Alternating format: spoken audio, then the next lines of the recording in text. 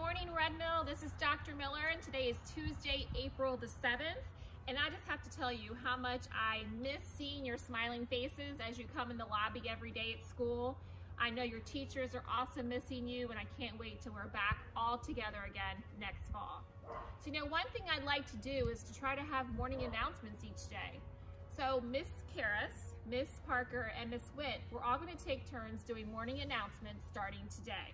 So, I'll have Tuesdays. So I like to start out by first going over our birthdays and I'll start with yesterday's birthdays. And let me tell you, there are a lot of you born on April the 6th. Seven birthdays here on April the 6th. We have Avery in Miss Bunn's room, Sonia in Miss Reed's room, Turner in Miss Pierce's room, Piper in Miss Morris's room, Tiffany in Miss Bradley's room, and Reagan in Mr. Coach's room. And it also was Miss Swan's birthday yesterday as well. So happy birthday to all of you.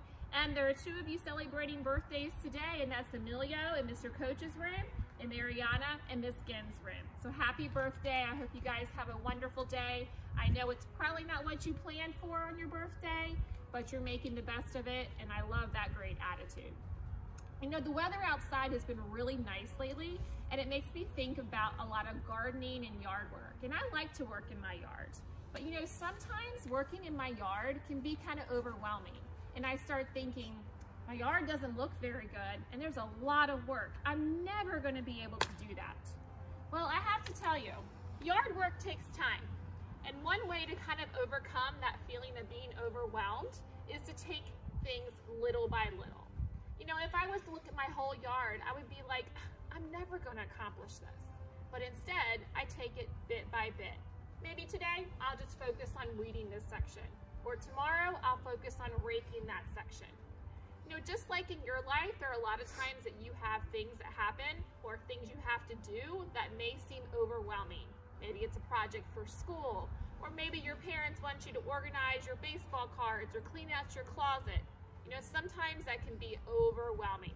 But if we take it bit by bit, little by little, step by step, we can turn that overwhelming task into one that can be accomplished. So I challenge you today not to feel overwhelmed, but to take it step by step. That's something to think about. Hope you guys have a great Tuesday.